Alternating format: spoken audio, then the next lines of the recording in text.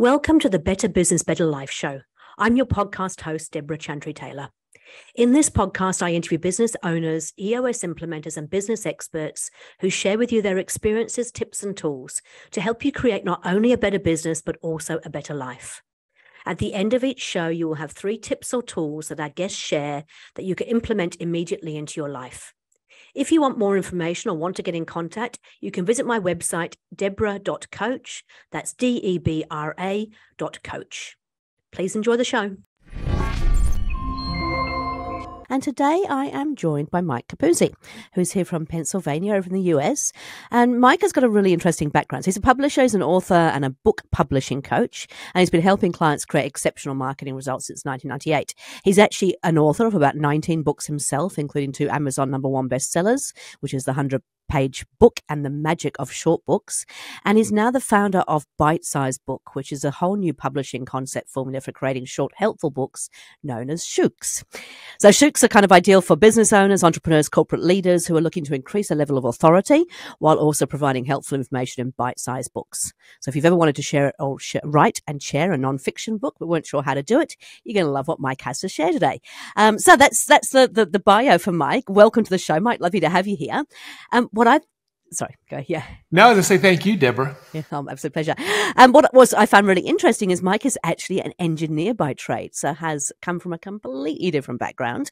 And I just had a quick um quick chat with him before the show to find out, you know, what really is a shook. And what I've learned is that it is yeah short bite-sized pieces of information, but it's actually just one of those books you can read in about an hour, um, and it gives you really valuable information. But from a business owner's point of view, it also follows a formula um, to, to help you lead somebody down a direct response kind of mechanism. So that's what I've learned in the last few minutes. So, Mike, welcome to the show. Great to have you here. Again, Debra, thank you very much for this opportunity. Oh, absolutely great. Hey, so tell us a little bit about how does somebody who's an engineer go from being an engineer, and I assume you worked in engineering for a while, into um, marketing books of all things? Yeah, it's well, like like most entrepreneurial paths, it's not this straight line. yeah. um, but yeah, I, I, I, engineering degree and did that at a you know small engineering company for a number of years uh, here in Pennsylvania. And then I, this is back in the early 1990s, I, I answered a, a, classified ad in our local newspaper for a, a small software company that was engineering related, engineering software related.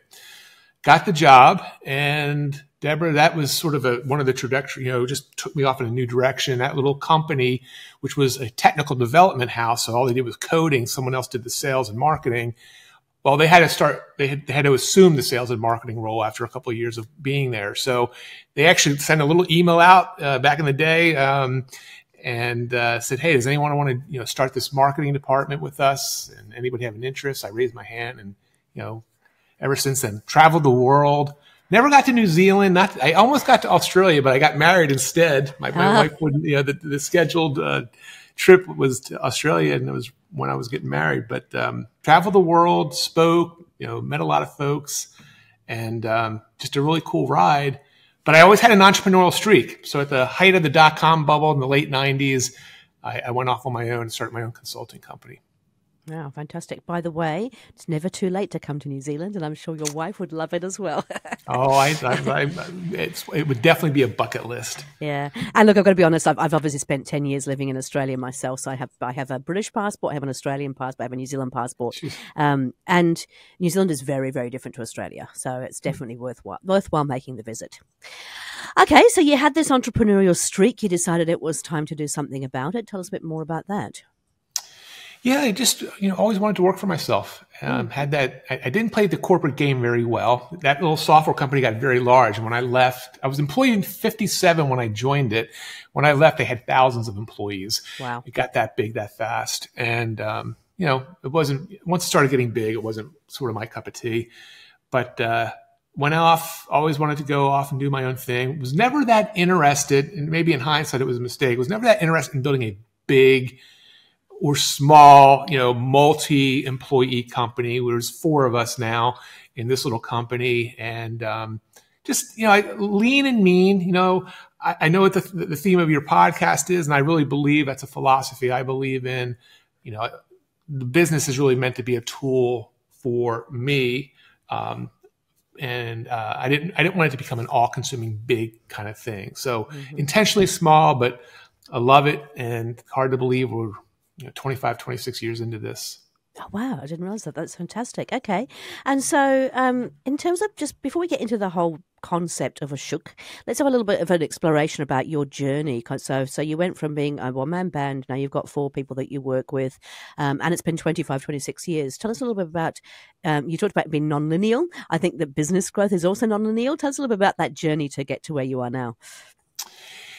Yeah, I mean, dabbled in different things, so different focuses. I tend to get bored, typical entrepreneur. So when you're when you run a small kind of lean ship, eh, you know, like a speedboat, if you will, it's easy to sort of you know change and, and try different things. So we've been publishing, even though we published our first client book in 2008, we never really focused a lot of energy on it. Uh, it wasn't until 2018 where we went 100 percent behind publish book nonfiction book publishing for business owners. Mm-hmm. Um, and you know, I've done a lot of things over the years. I used to host a bunch of events. I used to host a monthly in-person event for business owners to come visit. Uh, so I've done a lot of different things over the years, and uh, uh, at this phase in my life, what we're doing now is it's the most fun and the most enjoyable for me. So, yeah. yeah. And I think it takes a bit of time sometimes to find that, doesn't it? So we were saying before we've gone on the podcast, I'm a biochemist by trade, um, and I never really enjoyed biochemistry. It was just one of those things that my parents thought I should do. And you know, now I'm I'm now 53. I think I've now actually found what I really truly love doing. Um, there, you know, I'm here on a weekend um, because I love coming in and talking and meeting with people. I love the work that I do throughout the week and, and I really do feel like I've mm-hmm. found my true niche um, and my why, and and and it just makes life so much easier. But it does take a while to get there, right? Because um, sometimes you have to try things and, and oh, work oh, yeah. out what works and what doesn't work.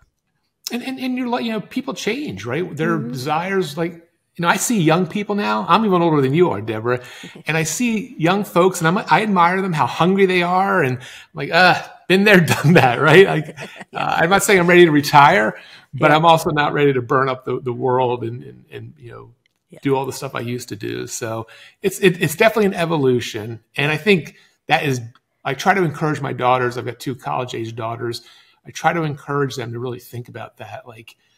Um, you know the decisions you make right now don't you know things are going to evolve and you need yeah. to be open to that evolution yeah, I think nothing's set in stone. I think business is the same too. It's like that's why we have to review things every 90 days and kind of go, hey, what's working, what's not working, what should we be changing? Yeah.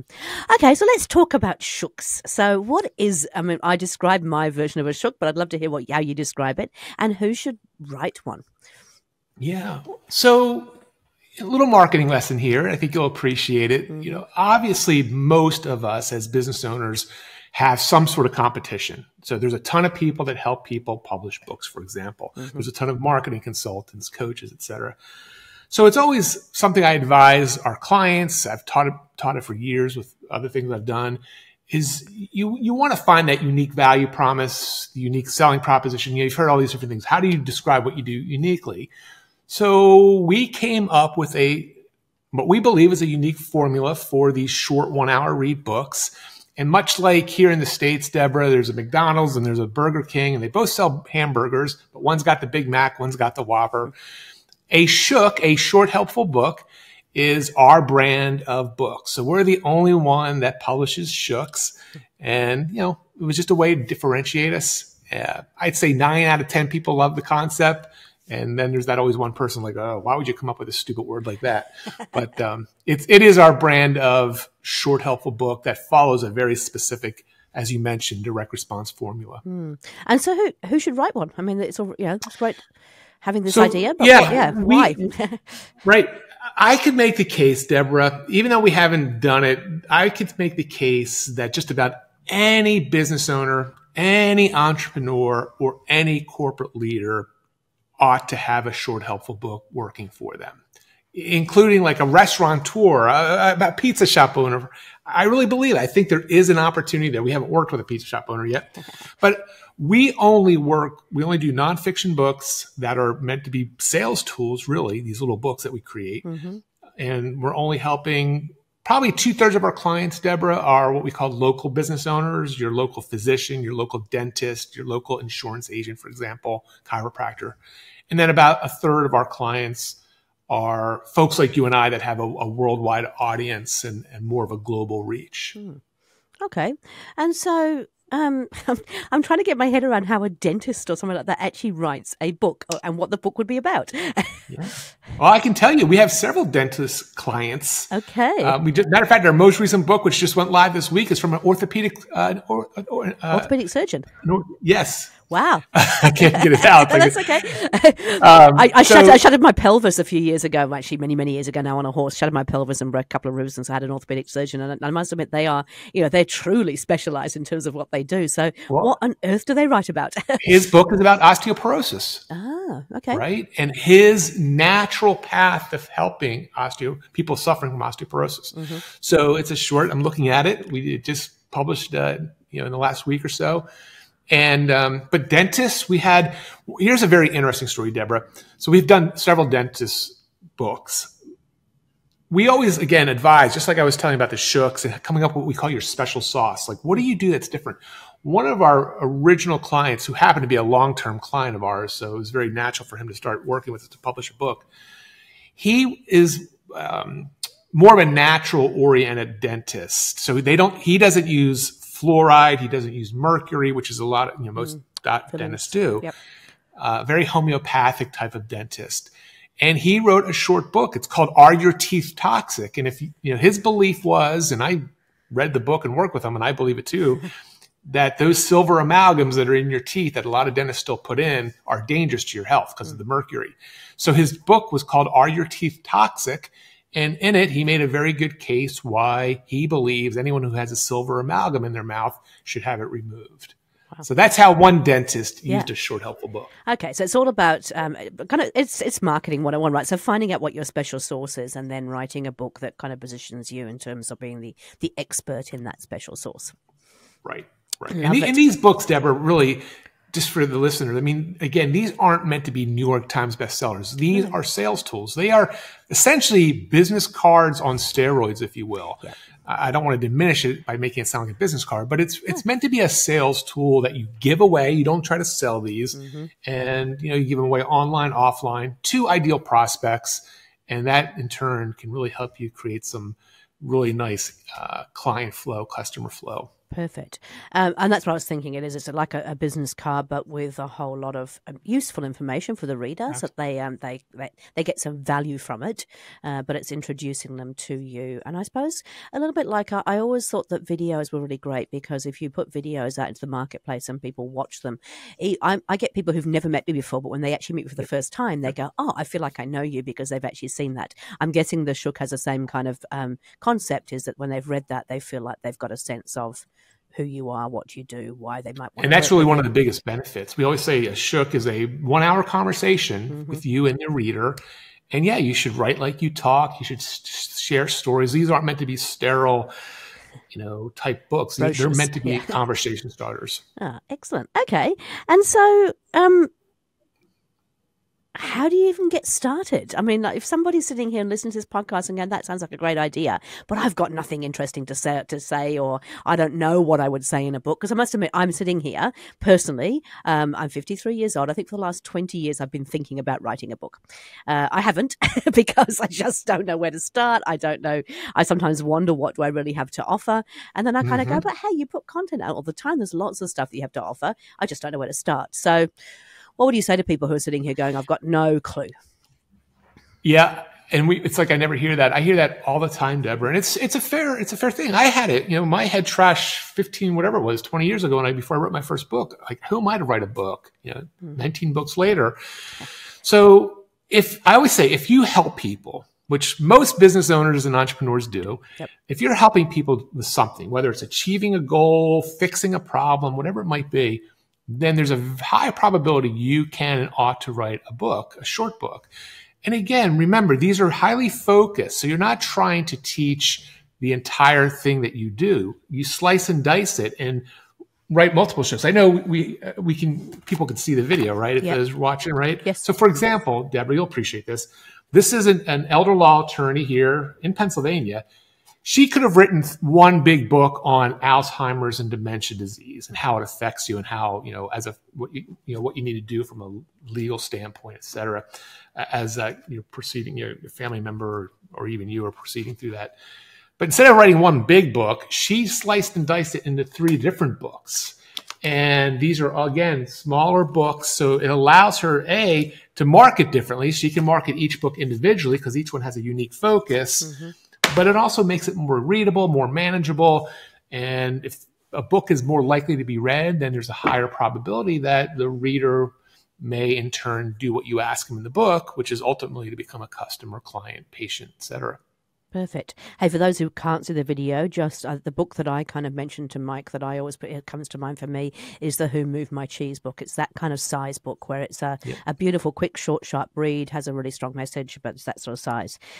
Um, I'm really curious because obviously there are lots of self-publishing options out there, and so I, you know, people could go, well, I'm just going to go and write my own book, self-publish it. What are the biggest mistakes people make when they when they do self-publishing? Yeah, great question. Uh, I would say the first thing they don't do, Debra, is they really don't think about their goals. Like, what are they really trying to achieve? If you're trying to become a New York Times bestseller and world-renowned expert you know, you're going to write a different type of book than a short, helpful book, probably. Mm-hmm. You know, you're going to want to get a media agent. You're going to just, you know, work with a traditional publisher. But for a lot of folks, they just want to be what I call five mile famous. They just want to be the dentist in their town that is known for whatever procedure or the, you know, insurance agent, for example. Mm-hmm. So you want to, you know, A, get over this idea that I'm trying to like write this amazing book. Yes, it's going to be a good book. It's going to be a helpful book, but it's going to be a book about what you do, what your specialty is, should be focused. And in our program, every uh, one of our clients works directly with me. So we're brainstorming, Debra. And I think one of the biggest mistakes people make is they don't think about their goals. They think they have to, you know, come up with this amazing book that's got to be, you know, 400 pages, et cetera. And I think there really are alternatives out there that they should at least consider. Uh, for many first-time authors, a short book is a great way because you're going to make a mistake. You're going to, you know, you're going to learn. Uh, my first book, gosh, you know, wish I knew now what I knew, you know, know now what I knew then, or other way around. Yeah. Wish I knew then what I know now. But you know, being able to get something done quickly and get it out there working for you, learn from the mistakes, you know, I think uh, coming up with something like a, a, shorter book is a better strategy. Yeah. And it comes back to sort of marketing 101, doesn't it? In terms of, I think a lot of people, um, they get caught up in this all, oh, you should, you ought to, you need to do, um, and they haven't really thought about why they're doing it. Uh, Absolutely. Yeah. And why they're doing it, who they're doing it for, what kind of results, what outcomes they want from it. So I'm guessing your team helps them work through that in terms of thinking about, yep. you know, who is it for? What outcome do you want? What's the message? Absolutely. That's the, that's the meat and potatoes before we even start, you know, there's several weeks of work work before we, and, and our total process is about eight to 12 weeks, mm-hmm. but several of the early on weeks are just totally you know, brainstorming, coming with ideas, who we, you know, who we trying to attract. I will also say, Debra, you know, right from the get go, books are very powerful. I mean, most experts have a book. Most, you know, celebrities. I mean, we all, you know, there's reasons why thought leaders tend to be book authors. Um, but it's really key, Debra, that I want to stress this. Writing a book and using it in your marketing is a long term game. Mm. So if you think you're going to create this book and then maybe put a couple weeks of marketing behind it and it's going to change the world, mm, chances are probably not. It's a it's a long term thing. It's I always say you want to be consistent, persistent with your use because a, a well written book can last years and produce results for years if done right. Mm. And I think that's actually really interesting because I know that a lot of people kind of think that with a lot of things actually, so I'll just put it, you know, a website, I build a website, I put it out there and all these people actually come to it. No, they're not going to. Yeah. You've got to have some reason to do that. And I think people think with books that, you know, it's all about becoming the number one bestseller. Um, really, for most people, that's not the ultimate goal, right? Yeah, yeah. it's not. So, in terms of making money from these short, helpful books, um, you know, it's not about selling the book. So, it's not because I think, again, people think, oh, I'm going to publish a, a book and it's going to be all of my expertise all crammed into this one book and I'm going to sell it and retire in the Caribbean somewhere. But that's probably not going to happen for most people who write books. Um, but these particularly are not designed for that. So, how do you make money out of writing that kind of book? Yeah. Again, great question. And yeah, that hasn't happened to me yet either. Mm. Uh, Oh. So, but again, it's a it's a different effort. Like Yes. if you're going to try that kind of book, it's a different effort, Mhm. and it's a very expensive effort, but because you need a, a pretty big team. But the way our authors make money with our short helpful books is they are connecting their products and services, whatever it might be, to the book. So the book is about something they do, how they help their clients, patients, whatever it may be. Mhm. And it's guiding those interested readers. It's not 100%. None of our clients have hit 100% where every reader becomes a client or customer. But you're trying to encourage those readers that get it to take what we call that next step. And that next step is typically, you know, working with you in some capacity. That's where you make your money. So for example, that dentist I was sharing with earlier, the holistic natural dentist, he used his book very strategically. He would put it, you know, out in his community, he'd place it where other folks that are very interested in healthy, you know, healthy uh, oral health Mhm. yoga studios, natural food stores, gyms. He would put free copies of his book for people to take. And within the first month of doing that, Debra, he got three patients that he wouldn't have gotten otherwise just because his book was out there. Yeah. It resonated and it connected the dots to him and his practice. And I think that's another really key point is like with any marketing, um, you have to invest in it. You have to be consistent. You have to, it, um, it's not just a short, sharp, just put it out there and, and everybody will come. It's more about um, who else can you partner with? Where else can you get that information Yeah. out there? All those sort of things. So, what kind of costs are typically involved? Um, not so much with working with you, I'll come back to that shortly, but more in terms of producing a book. Like, what does a book cost these days to print? Yeah, it, it's not, eh, you know, it's more than a business card, Yep. but less than a lot of things. So on average, for the our books, Debra, about 100 pages. There's there's somewhere between three and five dollars. It depends on quantity and all that. But you're you're spending about th- once the book is done Mm-hmm. and you need to print them up, you're spending somewhere between three and five dollars a book. Okay, that seems very reasonable. Okay, and so then the, tell us a little bit about the the process. So, um, you know, I I decide I want to write a, a short, helpful book, and I come to your team. What does that look like? Yep. So as I mentioned earlier, I work with every one of our clients. Um, it's a lot of brainstorming, a lot of Zoom meetings. We have a very, you know, that engineer brain of mine has a very developed a very unique, uh, systematic way of taking, you know, the book creation process step by step. So we take them through a, a very systematic process, brainstorm. Now, most of our clients, Debra, we and we encourage this. They write their own content. So we do offer ghostwriting for the you know the CEO who doesn't have the time, for example, which is typically the case. Um, we are, and I know I've listened to some of your past episodes. We are looking at leveraging AI now uh, as an alternative, not as in the content creation so much, but more in the outlining and planning and you know coming up with good ideas for a book. Yep.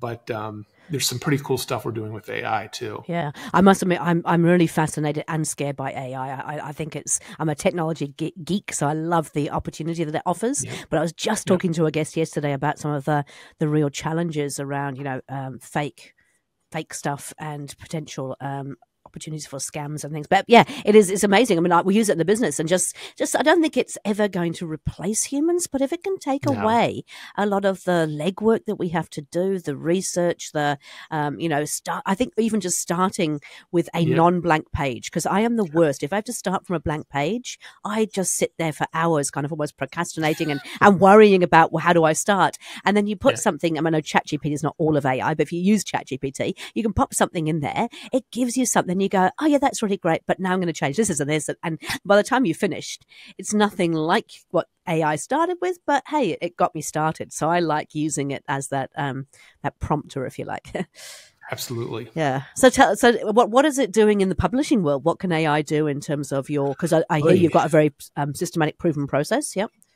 Yeah, I mean, listen, I, I haven't even kept abreast of everything, but in the book publishing world, obviously outlining and planning for the book, I guess there's still opportunities for um, people who want to, you know, quote, use AI to write the book. Yep. Um, I'm not necessarily that fan. You know, I, I believe it's a, you know, more of a, a partnership, if you will, Yep. versus replacing you audiobooks you know there's going to be a way to put it's out there now where you can use your own voice to now narrate your books mm-hmm. um, one of the cool things i heard one of your past episodes uh, talking about this but we're working with an ai developer now where essentially you can upload let's say I could upload a couple of my books into this system and it trains the AI to be like a Mike Capuzzi chat GPT, if you will. Yeah.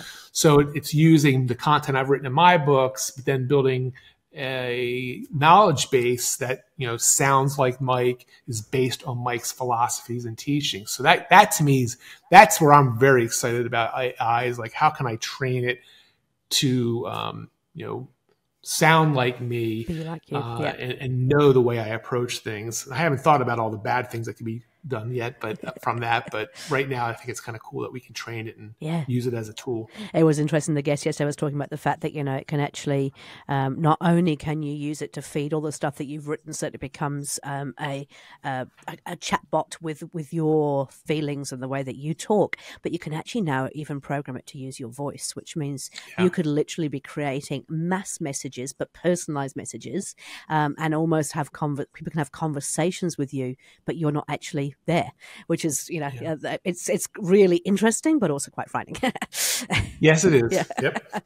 okay, cool. So, um, just I want to ask now in terms of I always ask my guests for, to give our listeners sort of three top tips or tools.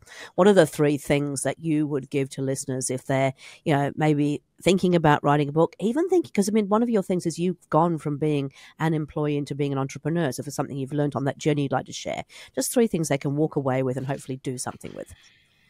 Yeah, I think I think the first thing is get any head trash out of there. Like I can't write a book. I'm not smart enough. I'm not a good enough writer. I, yeah. I, just think that so many books that ought to be written and other content too, Debra, doesn't get written because people, you know, really are their own worst enemy. So get that out of your mind. There's enough opportunities. There's enough ways and systems and you know philosophies on how to do a book that you can figure one out.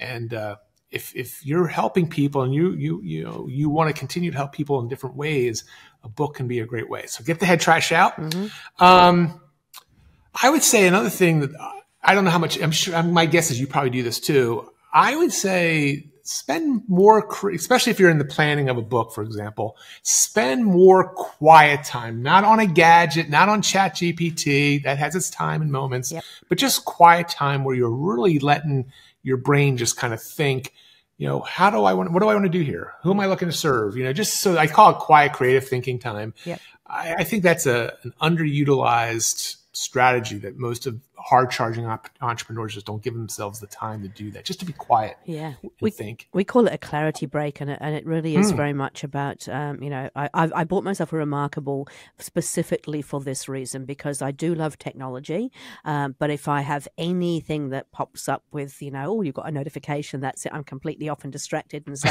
the remarkable gives me the opportunity to write on a notepad, and I just literally take that somewhere into nature away from everything else, turn everything off, and even if you don't don't have any questions to ask of yourself, just forcing yourself to sit there silently with a blank piece of paper can be really helpful. But even better if you can seed it and go, actually, yeah, okay, what do I want to achieve? How, you know, ask yourself some meaningful questions and just get it out, get it out of your head, see what comes out. You'd be quite yep. surprised. Yep. Yeah. Yep. Perfect. Absolutely. And then uh, I think that was to The third one. Yep. Um, actually, if you like what we've talked about, I'm going to share at the end. I, have written a book called The Magic of Short Books, yes. Debra, which outlines in great detail our formula. Mm-hmm. It's on Amazon. I'm going to give your listeners a chance to read it for free, but um, it's it's a it's it's a recipe for a short helpful book. I would definitely encourage people to at least check it out and see if that kind of book could work for you. Fantastic. Okay, so that was you're going to give us a link to that in a moment. Um, so what kind of people do you enjoy working with? Like, what other? What's your favorite client look like? Ah, that's a, another great question. The ones I work with, I love working with, and you sound like like you would even be like, I love people that get marketing, that love marketing, right? And that are always looking at marketing, both old school marketing like direct response it doesn't just have to be digital, but copywriting, all that stuff. I just love students of marketing mm-hmm. because, you know, as you and I both know, marketing is, you know, the lifeblood of any business, um, the kind of stuff that you and I talk about. Yeah. So I think a marketing oriented business owner, and then just someone who's just passionate about helping before selling. Mm. Um, and that's what a book does, right? A book helps before it sells. At least a shook should. Mm-hmm. And um, I think there's a whole philosophy there about trying to help people before you even worry about money exchange. So those those are the people I. They tend to be more forward thinking and longer term vision, and I like that kind of person. Perfect. And so, if they wanted to get in contact with you, how would they do that, Mike? Yeah. Well, um, my main site's mikecapuzzi.com. Mm-hmm. Um, our publishing business is bite sized books with a D, bitesizedbooks.com. Mm-hmm. And Debra, we have a, I have a podcast. I'm almost four years old and it's called the author factor. So authorfactor.com. And I interview nonfiction book authors just to hear and share their stories and challenges of how they finally wrote that first book. Um, and then I, I do have a gift for your listeners. Yes, uh, I can link. share yes, that. please do do go and ahead. And I know I know only certain people can see it, but here's three of our short books. Um, I mentioned the magic of short books. Mm-hmm. That's a mm-hmm. great little book. There's a magic of working together, and then the magic of gratitude is a little gift book I put together. All three of those, Debra, um, we put a. They're in digital format. You can read them online. Mm-hmm. Um, if you go to mikecapuzzi.com forward slash magic, it's a hidden link. Mm-hmm. Um, just let me know you heard me on Debra's podcast. We'll email you links for all three of those shooks. Oh, that is wonderful. Hey, thank you so much. Um, I think it's a really great idea, and I think it's really. I think the first thing is probably the biggest thing for me is like get that head trash out there.